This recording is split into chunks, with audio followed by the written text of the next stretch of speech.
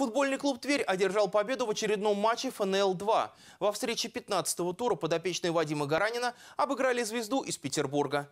Единственный гол в поединке был забит в самом начале первого тайма. На четвертой минуте ворот гостей поразил Даниил Мартовой.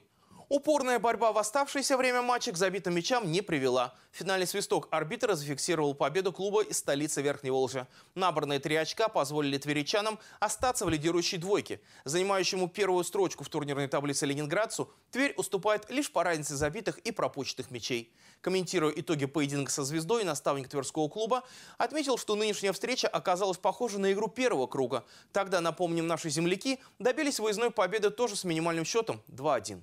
Мы знаем, что э, вот идея соперников наших – это играть в футбол. То есть для нас это было не мы разбираем, мы знаем тренера, знаем, как он видит футбол, знаем философию его, знаем э, их фишки очень хорошие на стандартах, очень интересные, да, которые были в первом круге, которые сегодня пытались они сделать. Ну, тяжело. Не, я не скажу, что было прям ну, тяжело так, что нам вот, не было сил, ничего не получалось, но, безусловно, были большие отрезки достаточно, когда мы